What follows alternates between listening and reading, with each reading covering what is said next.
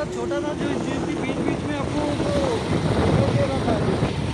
Deep जैसा है लेकिन यहाँ से पानी ज़्यादा है भाई, यहाँ से कोई भी डूबेगा ना, जो कि नहीं निकल पाएगा साइड लग जाए क्या बड़ा नदी है भाई।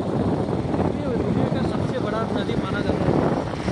देखिए, यहाँ से भी ये से पानी है। पानी से भरा